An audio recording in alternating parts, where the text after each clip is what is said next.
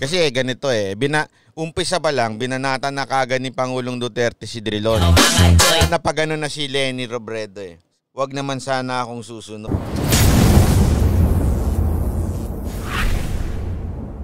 Good day and welcome to Donmar TV News Channel. Mga nagbabagang balita sa buwan ng Hulyo.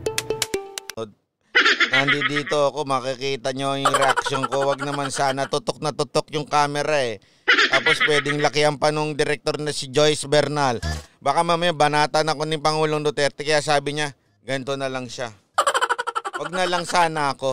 Marami ho pinag-usapan kaganina si Pangulong Duterte. Okay? Pag mo nang isipin yung kung ano man yung nababasa nyo sa Twitter o sa balita, alam mo naman yan. Eh, alam mo naman. Sila, wala na silang makikitang maganda. Ha? Kahit sumigla pa ang ekonomiya natin, gumanda pa ito. Pinagyabang nga din ni Pangulong Duterte, di ba yung uh, ating credit ratings, ang taas-taas, ganyan-ganyan bago mag-pandemic, ganyan-ganyan. Ngunit datapot subalit, wala pa rin magandang sasabihin ang mga siraulong oposisyon, yung mga salot. Eh sa kanila naman, wala namang maganda talaga eh, kung hindi sila lang. Tandaan nyo, ganyan ho ang mga self-righteous, mga self-entitled na mga tao. Eh walang maganda kung hindi sila lang. Walang magaling kung hindi sila lang, ha? Pero nung nandun sila at nakaupo, wala naman silang ginawa. O kaya nga napaka-ipokrito ng mga artiste. Sige, kung palalaan lang tayo at papangitan lang, ha? napakalayo naman sobrang pangit nung panahon ni, ni Noy Noy. O, di ba? Pero tahimik kayo mga artista. Bakit? Kasi nakikinabang kayo. Yun ang totoo. Tapos may matahimik ito mga media. Bakit? Nakikinabang kayo. Yan ang totoo. Ngayon, sasabihin nyo, ngayon ang the worst times. Excuse me. Yun na nga eh, sabi ko nga, alam mo, okay lang sana sa akin kung nagreklamo sila nung panahon ni Noy Noy eh. Eh, kaya sasabihin nila, concern lang naman sila sa taong bayan. Hindi, kalipuhan. Kasi noon, nakinabang kayo, kayo mga oposisyon. Kaya dal, o di kayo nagsasalita, pero pambihira naman. Worse at sabihin na natin talagang mas malalang malala naman yung panahon ni, ni Noy Noy. Ngayon, oo, merong mga kakapalpakan. Hindi ko naman sinasabi, paulit-ulit naman natin sinasabi, merong mga palpak pa din dyan sa gobyerno na halimbawa niya si Duque, di ba? Ah, yung mabagal na etong pagbabago di umano sa ano na to sa telco na yan anak ng tutsa o oh, malatapos na ang termino ni Pangulong Duterte anong ginagawa nyo sa DICT anong ginagawa nyo sa NTC may balita ako eh NTC daw humaharang niyan eh kayo kayo mga taga NTC ha tama na yung pagpapapogi ninyo Esmeralda Gamayon pambili ng snack 5 dollars. Eto, na-disappoint lang ako, di nabanggit ang constitutional reform, especially yung open to FDI. Ay nako. Kaya nga eh, alam nyo, napapaisip din ako dyan eh. Actually, iniisip ko na mabuti kung bakit hindi nabanggit yan eh. Sa akin, ang, sa aking conclusion na lamang ha, sa tingin ko eh, kung ano yung napapanahon lang. Siguro ngayon dahil sa nangyayari eh, hindi maipasok yan dahil ang pinaka basic concern ngayon ay yung basic necessity o basic na pangangailangan ng mga Pilipino dahil sa pandemic na ito. Kaya nga pinag-usapan dito isa-isay natin. Halimbawa, ha, pag lechon kay Drilon, no? alam naman natin kung bakit ni si Drilon kanina, di ba? Uh, Esmeralda Gamayon, salamat sa $5 pambili ng snack alam naman natin kasi kaya nilitsyon niya si Drilon eh dahil siya yung uh, abay todo react after nung ABS-CBN na pagpapa uh, hindi pagbigay ng franchise, di ba? Eh Pangulong Duterte naman eh ang kanya lang eh kasi sinasabi niya na kesyo ang problema ay eh, hindi naman daw yung oligarch. Okay? Ang problema ay eh, yung uh, yung mga tawag dito, yung nawala na naman sa dila ko yung yung ano, yung uh, pamilya-pamilya na dynasty, yan. Yung dynasty dynasty dinamay pa yung si anak ni Pangulong Duterte, di ba? Sinasabi lang naman ni ng ating ano pangulo, bakit ba masyado kang ano, ikaw ang isang todo react dito sa ABS-CBN? Ah, bakit? Tapos yung ah, 'di ba yung sinasabi niya nga dun sa ano ba ito sa ak, ano ba ang ano 'yon? Ah, law firm 'yon na kesyo tumu- nag-draft ng isa sa mga nag-draft ng kontrata sa tubig na kaya tayo pataas ng pataas ang tubig. Akala mo may swimming pool sa ating mga bahay. Oh. Eh di ba pinipilit nga ng Pangulong Duterte eh, dapat dapat mabuwag na yung mga oligarch na kumakawawa sa mga Pilipino. Kasi ito, ngayon natin nararamdaman. Nung una, kasi siyempre, medyo maayos-ayos pa yung buhay natin. Kahit papaano may mga trabaho tayo, di ba? Hindi natin maramdaman yung mga basic. Ngayon, nararamdaman natin pagtaas ng tubig, pagtaas ng kuryente. Kaya yung sinasabi ni Pangulong Duterte, etong mga oligarch ang kumu- kuma- kumakawawa sa ating mga Pilipino. Eh biglang uh, itong si ano, itong si, Dri- si Drilon, itong Akralon niya, office, aba, Tila, yan daw, sabi ni Pangulong Duterte na tinatanong niya nga, may kinalaman ba kayo sa pagdraft ng uh, sa tubig, mga ganyan-ganyan? Eh, hindi natin alam. Okay, tinalong din ni Pangulong Duterte yan. Kaya nga ang tanong talaga dyan, eh, bakit pagdating sa oligarch, ang bilis pum- pumiyok nito ni Drilon? Kaya nilitsyon ni Pangulong Duterte to si Drilon. Eh, kaya ka ganun eh. Kaya ganun na lang bigla si ano eh, si si Lenny Robredo biglang napayuko. Pero sabi niya siguro, salamat, salamat, salamat at hindi ako hindi ako nabanggit, hindi ako nabanggit. O, di ba po? Ako, ito pa, pinag-usapan yung telco, airwaves yung uh, pag-usapan sa uh, kesa gamitin daw muna ng mga ibang so sa madaling salita sinusuplak lang ni Pangulong Duterte yung mga haka-haka na merong Chinese company na ite-take over ang ABS. Kilala niyo si Raulong nagsasalita doon? Napakasira ang ulo nun eh. Ina, marami nag-email sa akin yan sabi, ano masasabi mo dito sa sira ulo na ito? Alam niyo, hindi ko na pinansin yan eh. Eh, kak- kamukha ni Pamato. Pareho sila magsalita ni Pamato. Eh, di ba kasi pareho sila si Raulo nila. Di ba sinabi ni Pangulong Duterte hanggang December. Yung iba hindi nak-gets yung joke na Jesus Christ eh. Alam niyo yan? Yung nagsalita ang Panginoon na I want to contact Jesus Christ on December. Hindi nila na-gets. Kaya pinatrending na naman doon sa sa Twitter. Ang hindi nila maintindihan, ang ibig sabihin ni Pangulong Duterte, binibigyan niya ng deadline itong telco na ayusin itong telco bago mag-December. Because I want to contact Jesus Christ in Bethlehem ba yun sinasabi niya?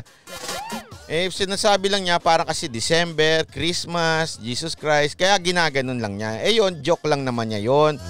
Pero yung iba, hindi naman nila maintindihan kung bakit kailangan binanggit daw si Jesus Christ na naman. Ang ibig lamang sabihin nun, ang ibig lamang pong sabihin nun ay kailangan maayos. Ini-emphasize lang ng ating Pangulo na kailangan maayos at ayusin ang serbisyo ng Globe at Smart. Pati PLDT, pati Sky Cable, broadband. Siguro pati na rin convergence, ha?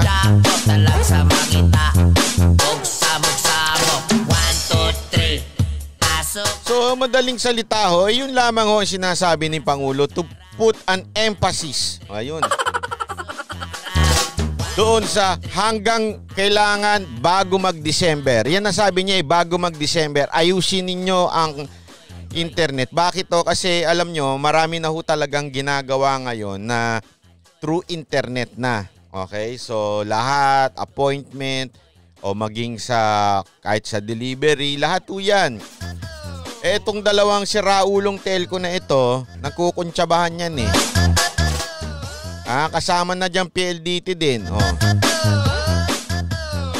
Ayun, umayos kayo. Ito, ito, ito yung sinasabi nilang chilling effect. Oh. Ito yung gusto kong chilling effect.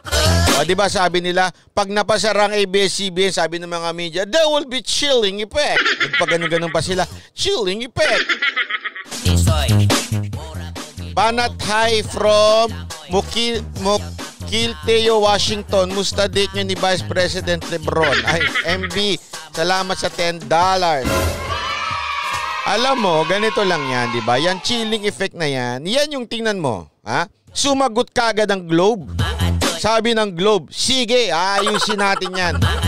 Yan yung chilling effect na sinasabi ng ating Pangulong Duterte. Ano, ngayon, gusto nyo mapasara kayo? Gusto nyo umayos? Kasi meron sinasabi, iba sabi nila, tingnan mo na, si Pangulong Duterte talagang may gustong magpasara ng ABS-CBN. Kaya muli niyang binanggit si Lopez sa kanyang zona. May mga ganyan-ganyan silang pautot. Sabi ko, eh, no ngayon. Sabi ko, eh, eh, no ngayon. Eh, wala na kayong pakialam dun. Eh, ang point dito, ah, hindi inayos ang uh, ABS-CBN ng pagkukulang nila. Okay? So, hindi kayo nag-ayos. Kailangan kayong kastiguhin. Oh. Ang nagkastigo sa inyo ay ang House of Representatives. So, Iyan na yung chilling effect. Ngayon, kayo namang Globe at Smart at PLDT, umayos kayo kung ayaw ninyong maging chilling effect kayo. Ha? Kung ayaw ninyong manigas dyan. Mayayari ka boy. Kahit dahil po nakatapat ho kayo ng isang pangulo na hindi takot bumangga dito. Alam niyo sa totoo lang nakakatakot bumangga sa mga telco ha. Lalo na sa pag-eleksyon. Nako, pag ikaw pin alam mo Tandaan-tanda ako noon, nung musikero kami noon ha. Kailangan sip-sip ka diyan eh sa dalawang ano na yan eh, sa dalawang telco na yan. Bakit? Kasi yan ang mga telco na laging nagpapa-show. So dapat kailangan sip-sip ka diyan, wag mong sisiraan niya, wag ka magko-komento ng pangit. Pag nakita nilang nagkomento ka diyan sa PLDT, uh, ah, Globe at Smart ng pangit, nako, di ka nakukunin sa mga show niyan. Eh buti na lang talaga, meron tayong isang pangulo na hindi takot. Eh kasi kung takot ang ating Pangulong Duterte, nako, walang mangyayari sa bayan na ito. Ano, ang boss natin mga oligark, Oh, ano ang boss natin, yung mga mayayamang negosyante? Bakit to? Yan ho ang pumupondo sa mga politiko. Tandaan nyo yan. Kaya yung mga politiko takot bumanat dyan sa mga yan eh. Bakit? Kasi sila yung nagpopondo eh. Sila yung nagbibigay. Alam nyo ba mga bigayan dyan? 10 million, 50 million para sa kanilang mga eleksyon, para sa kanilang pangkakampanya. Ganyang kalalaki yan. Pag sumorta yung pag sumorta, pag sumuporta yung mga negosyante na yan, malaking ano yan, pera yan. Kaya hindi mo babanggay niyan kung ikaw ay trapo. Sisip-sipan mo ng katodo-todo yan. Yan o mga politiko sa atin pero buti na lang talaga meron tayo isang pangu. Kaya sabi ko, wow, we are so blessed. Kasi kung kung, eh, paano maaayos siya mga yan? Oh? dominated itong dalawang telco na ito. Tapos sabi na naman nung iba. Sabi nung iba sa Twitter. Eh kasi gusto na ipasok si Dennis Uy. Porket taga Davao, ipapasok si Dennis Uy, ganun na lang. Sandali. Ito ha, panindigan nyo yan ha. Pag nagkaroon ng telco, mga ik, ik, mga Okinawa kayo, at pag umayos itong mga internet na ito ha, Huwag na wag kayo mag internet na maayos ha. Magtyaga kayo sa dial up. Ha? Ito mga dilawan na ito, tsaka ito mga teroristang mga makakaliwang grupo, reklamo kayo ng reklamo sa Pangulong Duterte pero nakikinabang naman kayo sa lahat ng nangyayaring maganda sa Pilipinas. Doon ako na ipokrituhan eh. Oh, kaya nakikinabang kayo sa lisensya na ilang taon, sa passport na ilang taon ha. Nakikinabang kayo sa magandang transportasyon. Nakikinabang kayo sa bill bill bill nakikinabang, eh, lahat nakikinabang na kayo eh. Kung ayaw nyo talaga sa ating Pangulo, huwag kayo makinabang dyan, mga hinayo pa kayo. Hay nako, nakaka-high blood eh. Alam mo bakit ako talagang na-high blood ha? Dito sa mga hinayupak na reklamo ng reklamo. Kasi panay ang reklamo nila. Pero sila yung number one pagdating sa pilahan ng problema. O halimbawa, ito si Catriona. Oh, reklamo ng reklamo, wala siyang tiwala sa mag implement ang anti-terrorism bill. Pero may tiwala siya doon sa sa ano sa sa NBI takbo kagad may problema. Ano ba talaga? Eh, ayusin nyo yung ano nyo, yung script ninyo, mali-mali eh. Di ba script ninyo, wala kayong tiwala sa otoridad. Pero pag kami problema kayo, takbo naman kayo sa otoridad. Anyari sa concert nyo, ayun. Nag- ano ba ba mangyayari dyan, Brad? Nag-concert ng mga tae, anong mangyayari? Siyempre lalangawin. Ha? Eh, kaya eh, kayong mga dilawan, ha? Kayong mga dilawan, kayong mga mak- makakaliwang grupo, mga terorista, ha? Pag naglabasan na yung mga magaganda, national ID, ha? Huwag din kayong kukuha niya na mga ina nyo. Ha? At pag lumabas din, pag gumanda internet nyo, paputol niya yung mga hinayupak nyo internet ha. Huwag na kayo mag internet pag gumanda itong internet sa December ha. Dahil pag nagsalita ang Pangulo, ay sigurado yan, may chilling effect. Ha? Oh, nagsalita na ang Pangulo ha, mamahi, Globe, smart. Huwag nyo naman akong traitor rin. Huwag nyo naman akong sabutahin ha. PLDT. Huwag nyo naman akong sabutahin. Umayos na lang kayo siguro. Kahit na sinong tumapat ito. Ah, umayos na kayo. At kayo mga dilawan, tae, at saka kayong mga teroristang uh, mga makaliwang grupo, paputol nyo yung mga PLDT ninyo ha pag umayos tong internet ha. Paputol nyo na rin yung mga smart globe ninyo ha. Magtawagan na lang kayo sa telepono. Mag yung dinalagyan ng coins, yun na lang kayo ha. Maayos kayo ha. Eh kasi sa akin eh, eh 'di ba gusto natin ha. Sabi pa nga ni Karen Davila doon eh, may, ngayon ano na ba nangyayari sa bansa natin? Eh ba ganyan ganyan natatakot na, oh, natural. Dapat lang naman talaga. Sabi ko nga, dapat lang naman talagang matakot na sa gobyerno. Ay. Ang gusto nyo kasi yung, ka, ito ah, no, halimbawa, bibigyan ko kayo ng halimbawa. Kayo, eh, kayo mga ibang kababayan natin na nasa ibang bansa, hindi nyo malalaman to. Kasi kaming mga Pilipino, ito bibigyan ko kayo ng sample ah. Ang mga Pilipino pag nag-ibang bansa, halimbawa sa Japan, o halimbawa sa Amerika, o sa Saudi, o kaya kahit saan mang bansa, ano unang-unang pagdating doon? Ginagawa niya. Nakikipagkwentuhan siya sa mga Pilipino, inaalam niya yung batas. Tapos yung Pilipino naman, i-orient yung tao. Sasabihin niya, ganito dito ha, wag kang ganito. Kasi dito seryoso. Pag nahuli ka, tanda-tanda ako noon eh. Kasi pagdating ko sa US tour namin noon, ha, yung nag-US tour ang mga girls noon, unang-una, nakira, nakrara, nakilala ko dyan si Jeremiah Manalo ng taga-Alaska. Nag-rent siya ng malaking ano, uh, ah, SUV, yung magandang SUV. Eh, yaman kasi ni Jerry Manalo ng taga-Alaska. Eh. Nag-rent siya ng SUV. Tapos, meron akong international uh, license. Sabi niya, oh, eto, gamitin mo para sa girls mo pagka namamasyal kayo. Oh, eto, gamit namin, oh. Pero, binilin-bilinan niya ako, wag na wag kang iinom ng magmane pag magmamaneho ka. Sabi niya sa akin yan. Bakit? Pag nahuli ka, una ako magbabayad ng malaki. Pangalawa, ay kulong ka Brad ha. Baka ma-deport ka kagad niyan. Yan ang mga ano niya sa akin. Ano pa? Titigil ka. O mga ganyan. Titigil ka sa pedestrian lane. Hindi ka tulad sa atin. Makikipagpatintero pa. Unahan pa. Ha? Ganyan mga bili niya sa akin noon. Pagdating doon, ano pa? Pag merong school bus dyan, wag na wag mong o-overtaken yan kung ayaw mong masira ang ulo natin dalawa. Yan yung mga bili niya sa akin. Bakit? Kasi ang batas doon, kinakatakutan ng gobyerno, kinakatakutan ng otoridad, kinakatakutan. Eh sa atin, ano? Pagdating dito ng mga kaibigan natin na foreigner, kunwari, ano, anong, ano, kikwento natin, pre, ano gusto? Hey, wh- where, where do you wanna go? Let's go on the cell phone, phone. Let's, let's, let's go and burn the house. Ganyan kagad eh, di ba? Para silang nakawala sa kural, parang walang batas. Oh, sasama kita, mambabay tayo. Ganun. Totoo naman, di ba? Pag meron tayong kaibigan, nung panahon hindi Pangulo ni Duterte, ha? Talaga nung kahit sa karsada ka magiinom, hawak mo yung alak mo, ah! Sa Las Vegas lang pwedeng ganun. Pero sa Amerika, ah, sa ibang parte ng Amerika, bawal ka may bit-bit na alak. Ganun. Di ba? Bakit? Eh matindi doon, yari ka. Hmm.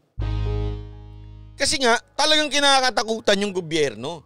Eh sa atin, hindi kinakatakutan. Ngayon lang uli kinakatakutan ng otoridad. Kasi dito sa atin, wala eh. Ang, Meron yung bumangga sa akin na kainom. Ano sabi nung hinayupak na pulis na yun? Sana, naku, hindi ko talaga inabutan yung pun... Sabi ba naman ganun? Hoy, nabangga ako nitong nakainom. Ayusin na lang to. Mukhang nabigyan nung hinayupak na yun eh. Diyan sa San Juan yan. San Juan Police yan. Kaya lang unfair kung ngayon ko sabihin San Juan Police kasi siyempre nagpalit na yung mga yun eh. Ganun po talaga ang katotohanan mga mga mga kababayan natin. Kasi dito, yung mga negosyante, ano ra ito ha, sa mga negosyante, ganito, oh, ito alam nyo to ha, eh di ko na lang sasabihin pero ganito talaga ito. Ganun na nga, so yung chilling effect na yan, so sana naman, magising, ayan ang pinakagusto ko, pasensya na ha, yan talaga ang pinakagusto kong ah, sinabi ni Pangulong Duterte kanina, yung telco. Binigyan niya ng deadline, December, ha? So tatanong ngayon natin ngayon yan sa mga taga DICT, NTC kung anong gagawin nilang sanction dito sa Smart at saka sa Globe kung hindi nila aayusin itong ah, telco na ito. Dapat to ay bumilis. Ha, bumilis, hindi yung loko-loko kasi ah, alam naman natin, bagal-bagal eh.